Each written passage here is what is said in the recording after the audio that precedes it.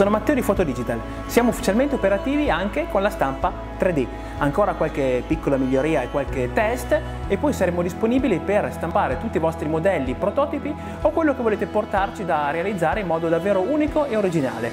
Ti aspetto da Fotodigital con la stampa 3D.